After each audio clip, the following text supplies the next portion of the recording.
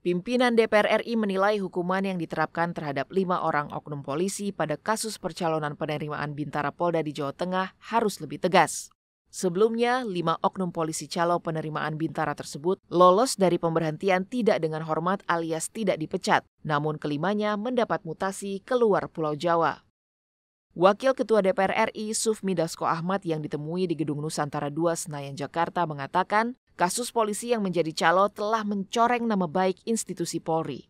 Sufmi Dasko menegaskan, dirinya melalui pimpinan Komisi 3 akan meminta Polri untuk menjatuhkan hukuman yang tegas dan lebih berat.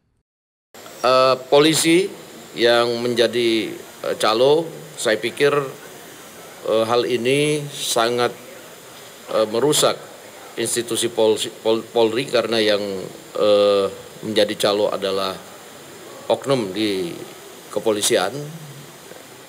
Saya mungkin nanti melalui pimpinan Komisi 3 akan meminta kepada Polri bahwa eh, hukuman yang diterapkan itu menurut kami harus lebih tegas dan lebih berat supaya tidak terulang kembali ada oknum di institusi tersebut yang kemudian mencoreng institusi dengan cara tersebut.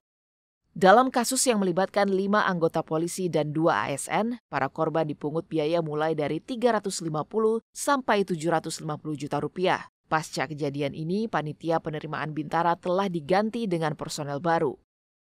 Zikri Yaserto Denus, TVR Parlemen, melaporkan.